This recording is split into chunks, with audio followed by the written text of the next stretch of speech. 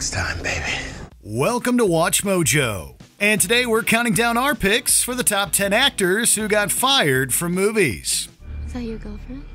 Mm-hmm. Ex. For this list, we'll be looking at any performers who were reportedly replaced, forced out, and or some variation thereof after securing a film role. Note that the details surrounding such incidents can't always be confirmed or verified 100%, but we've tried our best to be as accurate as possible and provide more than one side to the story. If there is one. Did we forget a famous firing? Let us know in the comments below. Number 10. Chris D'Elia, Army of the Dead. Zack Snyder's movie Army of the Dead was a popular Netflix release in 2021 that saw several hurdles on the way to its final form. All right, Peters, get up to the roof. Get that chopper running as fast as possible. Cruz, go with her. He talks too much.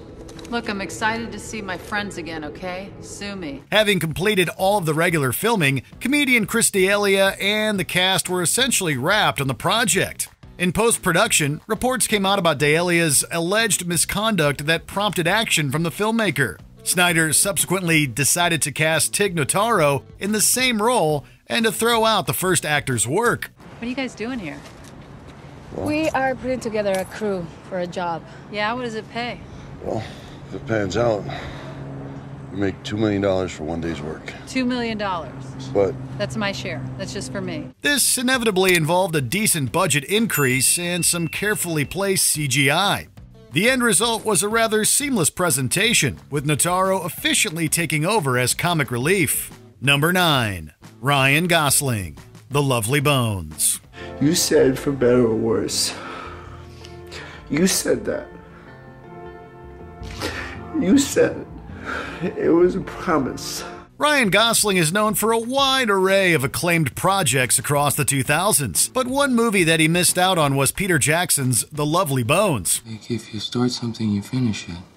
You don't stop until you get it right. If you don't get it right, you start over again and you keep on going as long as you have to.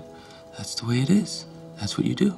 It's perfectly normal. Due to creative differences, Gosling didn't get the part that eventually went to Mark Wahlberg. Before the start of filming, the actor put on a substantial amount of weight for the role, putting him in conflict with the director. Jackson and his proposed cast member parted ways soon after Gosling's physical transformation had strayed from the filmmaker's vision.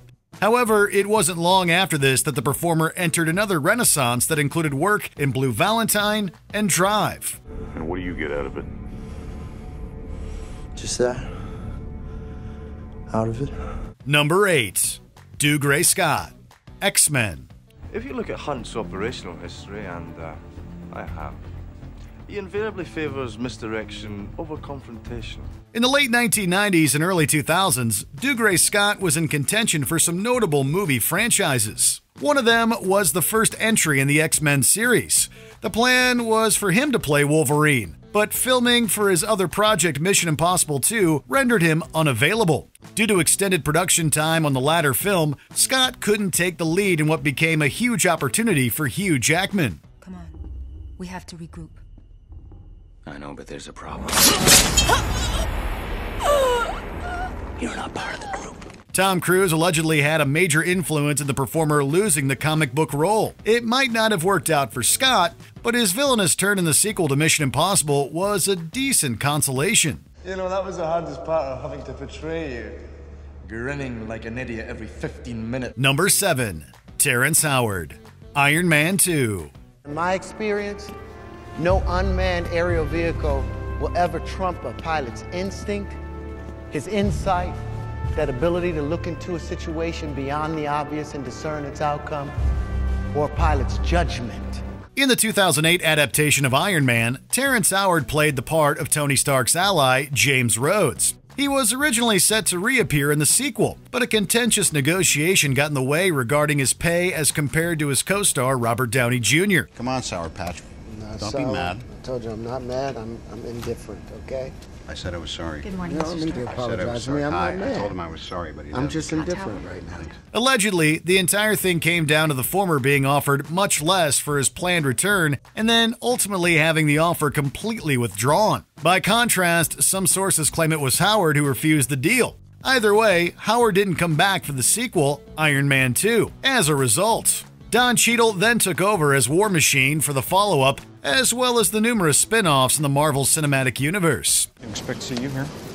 Look, it's me. I'm here. Deal with it. Let's move on. Howard has had a few smaller movie roles since his casting switch, but he has also found success on television. See, the streets couldn't defeat me. Disease couldn't stop me. Even God can't kill me. The day will come when Lucius Lyon will return. Number 6. Samantha Morton. Her. Many people don't realize that Spike Jonze's Her could have had a very different cast member at the heart of the movie. Destroy the past, make the future. Actress Samantha Morton recorded dialogue for the titular artificial intelligence, but the director realized that he wanted a much different voice for the finished film. He later hired Scarlett Johansson in an iconic vocal performance, scrapping the recordings by Morton in the process. That's really weird. Is that weird? Do you think I'm weird? Kind of. Why? Well, you seem like a person, but you're just a voice in a computer. I can understand how the limited perspective of an unartificial mind would perceive it that way. Given the importance of the role, it's easy to see that Jonze wanted an exact tone and quality to the performer. In the end, it's almost impossible to imagine anyone else for the parts. I'm different from you. This doesn't make me love you any less. It actually makes me love you more. Number 5. James Remar. Aliens. I only got one question.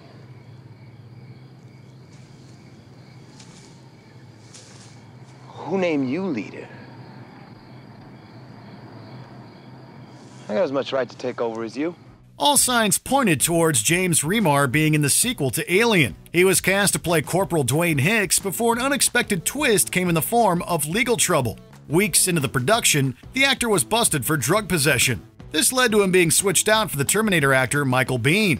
Looks like the new lieutenant's too good to eat with the rest of us, Grunts. Remar was known for being a prominent character actor throughout the 1970s and 1980s, but this particular role was one that he ended up losing. His run in with the law didn't completely derail his career, but it kept him from being in one of the more successful sequels in sci fi history. Get in the goddamn door! Eat this! Number 4. Johnny Depp. Fantastic Beasts The Secrets of Dumbledore. I wish you were working with me now. Towards a world where we wizards were free to live openly. To love freely. It wasn't long ago that Johnny Depp was one of the highest paid actors in Hollywood. However, his messy divorce from Amber Heard and the allegations that followed ended up altering his career. Oh, God. Why did she have to happen? Just when I was doing so good without her. The actor planned to appear in the third entry of the Fantastic Beasts series, but the negativity surrounding his name prompted the studio to find another actor to play Grindelwald. Depp was forced to step down from the role, and Mads Mikkelsen took his place as the villain. Do you really intend to turn your back on your own kind for these animals? With or without you, I'll burn down their world, Albus. There's nothing you can do to stop me. Subsequent lawsuits further complicated the actor's personal and professional life, leaving his future in the movie industry uncertain. I hate Paris. Number 3. Megan Fox. Transformers Dark of the Moon. You gotta go. You gotta go. No, I'm not You leaving. need to go. No, I'm not Go, leaving get until. I get Bumblebee out of here, okay? The live action Transformers movies were a massive success at the box office. They also made stars out of cast members like Megan Fox, who was set to return for the third entry in the series. This changed when she reportedly said an unsavory remark about director Michael Bay's directing style. Needless to say, this didn't go over well with the filmmakers who decided to fire her. Look at the things I go through with you. And now we're underneath the moon and the stars and the three most beautiful pyramids on the planet, and you still can't even tell me that you love me. While her reps claimed Fox left of her own accord, she was later replaced by the actress Rosie Huntington Whiteley, who played a different girlfriend for Shia LaBeouf's character. I love you. You're the only thing I need in this world, and I'll do anything to make it up to you, I promise. I'm gonna hold you to that. Fox has yet to return to the series, and it's unlikely given the severity of her comments. Number 2. Kevin Spacey. all the money in the world. I always say you never really know anyone until you've been through a divorce.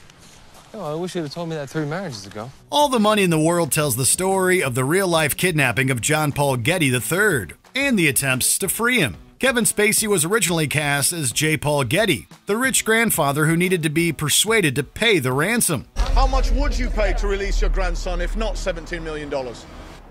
Nothing. After serious allegations came out about Spacey, director Ridley Scott devised a plan to edit him out of the movie. He decided to cast Christopher Plummer in the role and to reshoot almost every scene involving the elderly oil tycoon. How much would you pay for your grandson, if not 17 million? Nothing. This was a much discussed story at the time and is considered to be revolutionary in terms of changing out cast members. Before we unveil our top pick, here are a few honorable mentions Mia Farrow, Manhattan Murder Mystery. After their controversial split, director Woody Allen replaced Farrow with Diane Keaton. I think the time has come for us to reevaluate our lives. I reevaluated Yeah. our lives. I, I, I got a 10, you got a 6. Harvey Keitel, Apocalypse Now. Keitel departed from the role that Martin Sheen made iconic. I was sent on a classified mission, sir. No longer classified. Is it? Julianne Moore, Can You Ever Forgive Me? Before Melissa McCarthy, Moore planned to bring another take on the real life woman. You're gonna tell me how? No, you'd be too scandalized. Oh my. you clearly don't know me very well. Some things are just better kept to oneself, even if they are brilliant. Richard Gere, The Lords of Flatbush. In an early role, Gere got into a fight with his co star Sylvester Stallone and lost the parts.